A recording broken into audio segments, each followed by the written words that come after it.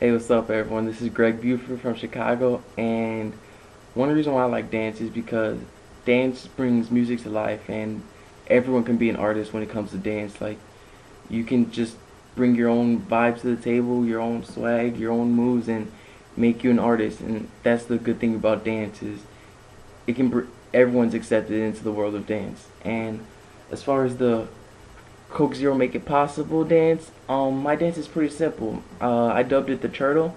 It for the most part, it's just a simple get in your shell, pop out, and, you know, just groove to the music, pop out.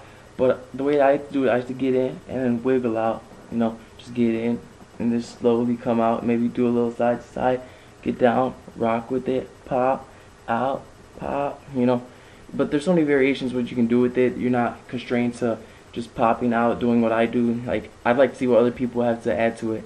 But I'm gonna play a little music. You know, I'm gonna show you how you can go fast, slow with it, and uh, just check it out.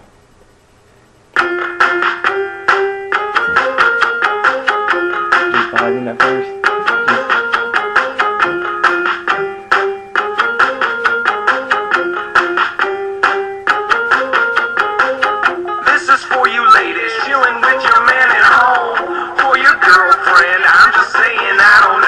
So, yeah, you know. there's there's so much you can do with it. You're not constrained to just a simple out and a popping. But you know, I like to see what everyone else has, and uh, I hope you enjoy the video. Peace.